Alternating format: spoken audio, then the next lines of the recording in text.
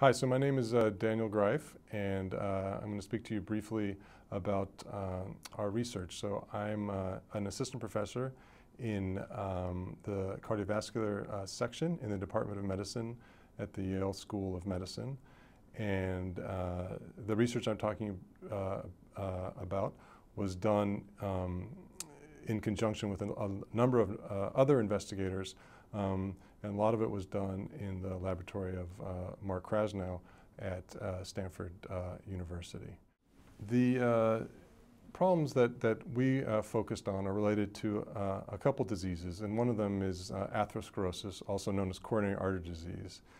another disease which is related to what we work on is known as pulmonary hypertension, where the blood pressure in the pulmonary arteries which supply blood to the lung is too high, or known as hypertension.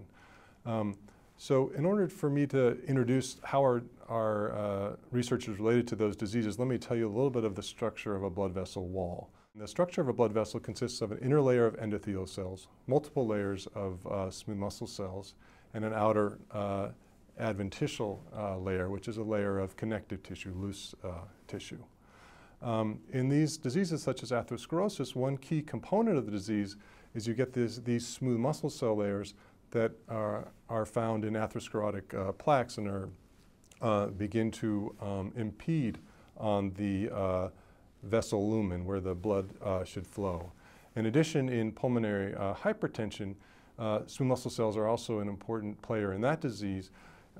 usually in the um, vessels of the lung, you have a smooth muscle cell coverage to these blood vessels to a certain size um, or caliber of the blood vessels. But as you go further into the lung and the vessels get smaller, they should not normally have a smooth muscle cell coverage. Unfortunately, in this disease, they um, accumulate smooth muscle cells, and this uh, impacts uh, the disease and is an important component of uh, uh the problems that people have. We uh, basically wanted to look at the process of how you build the layers of a uh, pulmonary artery uh, in, the, in the mouse during the developmental period. And what we found is that there was uh, a radial patterning. And what I mean by that is that the first layer of smooth muscle cells would form uh, first and it would go through some distinct um, steps. And while that process was going on in the first layer, um, the, the, second layer would then begin to go through those processes. And so it's an iterative and successive process that eventually um, goes through a number of steps and then it reaches the outer layer which goes through uh, some of those steps but stops before it completes all those steps. And so the inner layers that form all the steps, that go through all the steps will form smooth muscle cell layers, and the um, outer layer, which went through some of those steps, will form the adventitial layer. Um, and so through looking at, at those steps, we then uh, had a, a, platform where we could study some of the cellular and molecular processes that are important in this.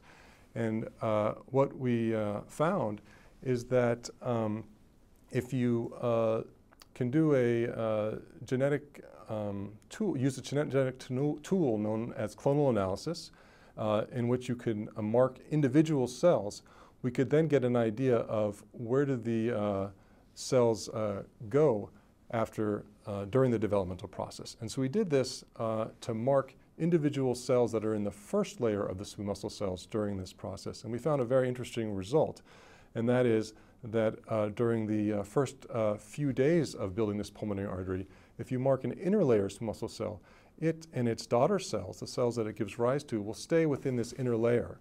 So they will stay wrapping around the tube in this way and going down the tube uh, in this way longitudinally, but um, the, the daughter cells will not uh, migrate uh, radially out.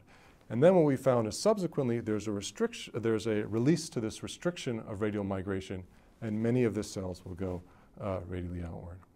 Um, so the, the, uh, the second key point that I wanted to just uh, uh touch on is this radial process uh, was suggestive that um, there could be a signal uh, from the endothelial cell layer that was diffusing out and controlling the successive and radial patterning.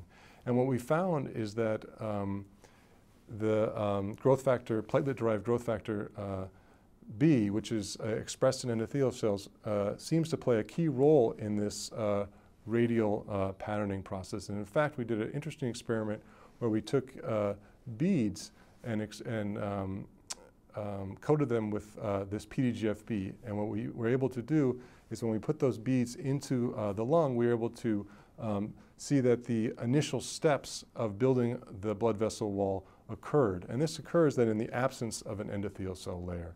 So ultimately, um, this research will um, um, hopefully uh, allow us to become informed uh, about what goes wrong in uh, these diseases of atherosclerosis and pulmonary hypertension and other diseases, because we uh, speculate that uh, many of the processes that are important in building the blood vessel wall are important for these diseases and also important um, in uh, leading to the heterogeneity of the blood vessels that we ha have in our bodies.